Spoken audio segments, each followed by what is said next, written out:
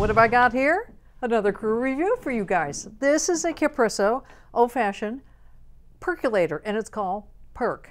P-E-R-K, Perk. And you can walk it.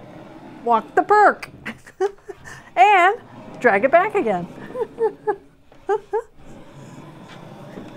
it's got a short leash. it's the only problem. it's the old-fashioned type, plug it in, and it I mean, I remember these when I was a kid. This is, this is the way you made coffee. And this was even an upgrade from the one like this that you put on the stove. They went electric. That's how old I am, right? So what happens is this goes down in there with the water.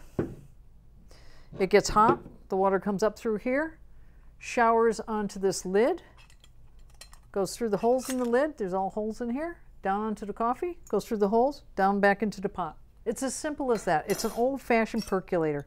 I remember these when I was a kid. Glass lid so you can see the perking action going on. And uh, this is eight, uh, eight five ounce cups, so you're going to get 40 ounce yield out of this. Uh, stainless steel, a heat resistant base, and an indicator light that shows that it's on and doing its thing. So that's basically how it works. There is one thing I want to show you before we actually perk with this because uh, what I found was, uh, I'll, sh I'll show you what happened. I was messing around with it earlier. You know, you got to mess around with these things before you go on to doing the real thing. Okay, it was in the pot like this. It sits down in that cavity. Uh, the, the shaft in the middle sits in that thing in the bottom and it heats the water and sends it up through. So I took this out and I went, oh, look at that. Okay, I put this back in and I thought, okay, I hit it good this time, and this this is what happened. It would fall to the side. It would do like this. It would do like this. Do like this, and I if I just happen to hit it, great. Or I'd have to bend over, and then I tipped it over. So that was a really inconvenient. I thought that that was a con, and I'm going to show the con right up front. This is how I would do it. I would put my ground coffee in like this, shake it around, put it in, I would then put this up the middle, hold it by that, and set it down in there. And that will cause a lot less heartburn. That's what I think anyway. The other thing on this machine is there's a lock and an unlock. It's a, it's a icon here. It corresponds with a dot right there. Make sure that the unlock and then turn it. If you get this over here and put it on, which we did, it's impossible to get off. We practically had to take a hammer to the thing. The other con, short cord. We thought it was extremely short. A Pro, stainless steel, that's nice. So let's perk. Let's see what it's like. We're to get some coffee, to get some water, and I'm to perk some Twilight and see what it tastes like. All right, so we're ready to go. Uh, there's, there's markers on the inside of this for four, six, and eight cups. We're going to do the eight. And there's also markers, you can see the indent on the outside for the coffee that goes in there too. We got it ground pretty coarse, which is what they recommend. Oh, I had this plugged in. Right up to the Ah, dribble more. Come on. There we go.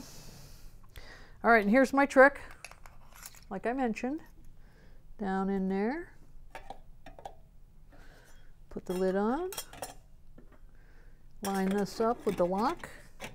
Turn it. And then we're going to turn it on. I got a little thing down here to turn it on. I notice that there's no on-off switch. When you plug it in, it starts going. I suspect if you, everything wasn't ready to go in there, that it would uh, overheat and it would kick itself out. These things all have safeties in them these days, so I don't think it's a big deal. You can see it perking right there, just like I used, used to see when I was a kid. What? In the 1800s? That's not nice and it's not true. The 50s, the 60s. I remember it all. We'll be back as soon as it's done. Okay, so the light is indi indicates that it's done. It's perked, it's done its thing. And so what's left? Taste test. That's what I say. I'm just going to unplug it, make it easier on myself. Uh, first thing I notice is I'm pouring not as clear a cup, which I would expect. It doesn't have a paper filter or a gold filter. You're probably going to get a little bit more sediment in there.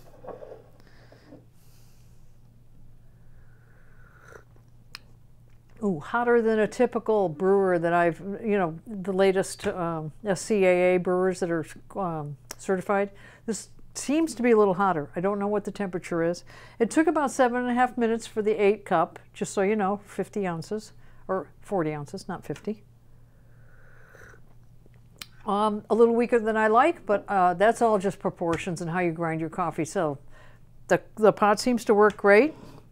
Uh, it's your basic pot. It's a percolator pot, just like I remember when I was a kid, with the glass and the whole deal. You can watch it perking up here through the glass. So check it out on our website. The rest of the stats are going to be there. And thanks a lot for watching. And don't forget to subscribe to our YouTube channel. Thank you.